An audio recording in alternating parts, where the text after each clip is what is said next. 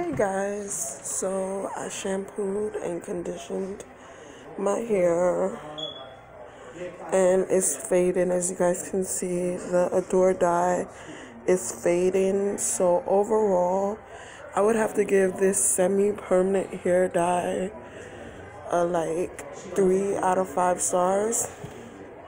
Simply because number one it came out not the color that was on the container, excuse me.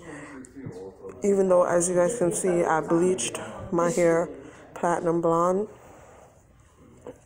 before application, and it still didn't come out the color that it was supposed to. Um, so as you can see, the bleach is showing, which means the dye is not there anymore. So if you guys can see that. My roots are growing in, which is expected.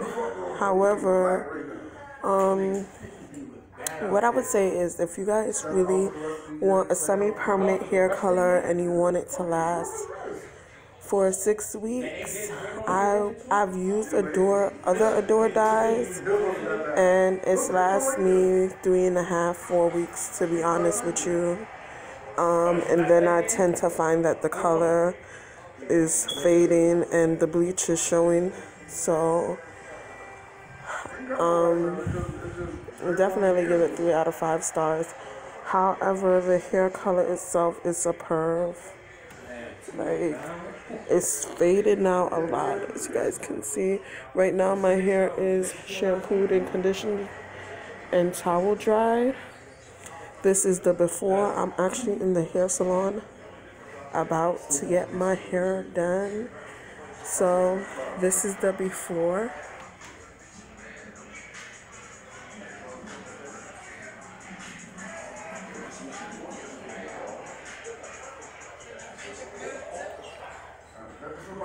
Before it's done and stay tuned for the afterwards. So thumbs up this video share it like it subscribe to my channel to stay updated with me and my life. Be blessed I'll do the same again. This is brandon from manhattan new york.